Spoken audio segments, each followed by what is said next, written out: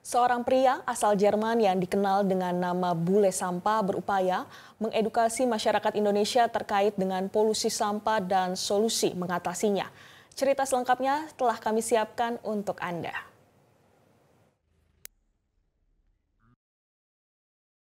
yang datang ke Indonesia. Sebagai negara kepulauan terbesar di dunia dan dengan populasi yang kian bertambah, Indonesia negara yang cantik namun menghadapi tantangan serius terkait pengelolaan sampah. Isu yang kian mendesak seiring dengan pertumbuhan ekonomi dan perubahan pola konsumsi masyarakat di mana menghasilkan lebih banyak limbah.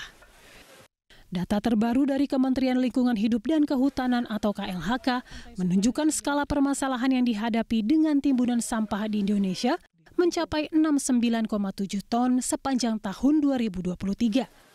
Dari total timbunan sampah ini, 33 persen tak terkelola dengan baik secara nasional. Berakhir di tempat yang tidak semestinya, seperti laut, sungai, atau tempat pembuangan ilegal yang tidak dikelola dengan baik. Lampung, mohon maaf, tanpa mengurangi rasa hormat, pantai terburuk dan terkotor nomor dua di Indonesia ada di daerah kalian. Kondisi ini menjadi perhatian masyarakat Indonesia. Tak sedikit yang tergerak untuk peduli sampah dan kebersihan lingkungan. Pandawara Group adalah salah satunya, grup yang pernah menjadi perbincangan dan trending topik di sosial media berkat aksi-aksi heroik lima pemuda di dalamnya dalam membersihkan sampah. Satu yang paling menarik perhatian yakni ketika Pandawara membersihkan salah satu pantai terkotor di Indonesia, yaitu Pantai Sukaraja yang terletak di Lampung. Tak hanya warga negara Indonesia, kondisi perihal sampah di Indonesia juga menjadi perhatian bagi warga negara asing yang datang ke Indonesia. Inilah kenapa TPA bukan solusi untuk sampah kita. Benedict Wemter, warga negara asal Jerman ini memiliki rasa kepedulian tinggi terhadap kondisi sampah di Indonesia. Memanfaatkan media sosial miliknya, Bule Sampah, Benny menggaungkan niat tulus untuk kondisi Indonesia yang lebih baik. Awal mula kepedulian Benny terhadap isu sampah di Indonesia muncul pada tahun 2020. Saat itu Benny tengah menggarap film dokumenter terkait sampah. Beberapa negara berkembang di Asia Tenggara menjadi objek perfilmannya, salah satunya Indonesia. Berbekal pengetahuannya soal lingkungan dan ekonomi sirkular, ia merasa prihatin dengan banyaknya sampah di Indonesia. Ia pun tergugah untuk mengedukasi masyarakat Indonesia lebih peduli terhadap sampah. Aku fokus tentang masalah sampah di Indonesia karena Indonesia yang uh, negara cantik dan besar juga dan menurutku ini ya aku merasa sedikit sedih uh, karena di sini ada banyak polusi dan um, aku mau membuat negara ini uh, bersih kembali.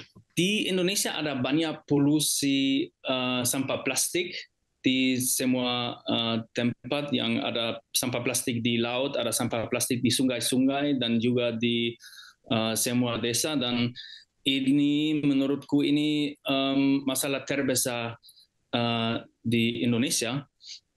Karena itu kalau aku pertama um, datang ke Indonesia seorang backpacker dan aku pecinta negara ini uh, ada budaya yang intens ada orang-orang yang ramah. Tapi semua tempat aku sudah keliling-keliling ada polusi sampah. Karena itu ya kita membuat um, konten-konten ini. Benedik membawa empat program yang bisa dikerahkan untuk menanggulangi permasalahan sampah. Dua di antaranya yakni media sosial Bule Sampah dan aplikasi Sam App yang sudah berjalan. Adapun platform Bule Sampah bertujuan mengedukasi masyarakat soal polusi sampah dan solusi mengatasinya, sementara aplikasi Sam App mengedukasi terkait sampah plastik. Bule Sampah ini salah satu program dari yayasan kita, eh, yayasan namanya Veritas Edukasi Lingkungan, kita punya empat program untuk membuat edukasi lingkungan hidup digital. Pertama, Bule Sampah ini yang platform untuk mengedukasi masyarakat tentang um, polusi dan solusi. Um, dan kedua, kita juga punya aplikasi namanya Sampep. Ini aplikasi pertama di Indonesia.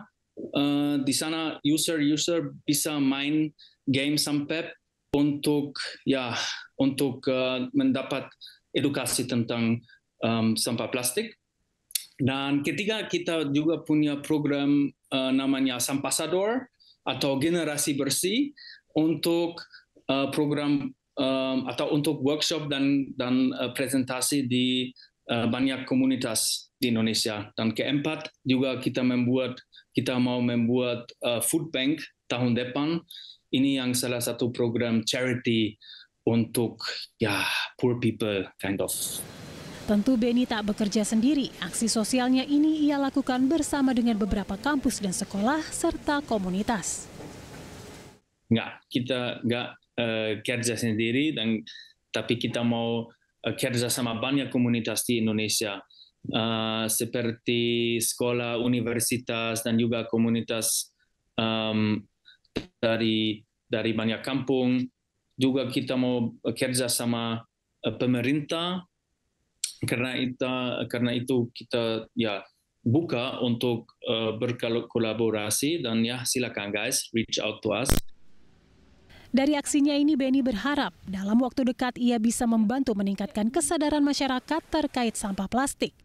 Sementara dalam jangka panjang, Benny ingin mengurangi sampah plastik yang saat ini kisaran totalnya sebanyak hampir 7 juta ton sampah plastik.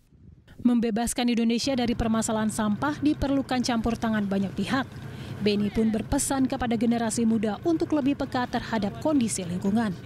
Pemerintah juga diharapkan bisa lebih tegas membuat peraturan penanganan polusi sampah. Jelajahi cara baru mendapatkan informasi. Download Metro TV Extend sekarang.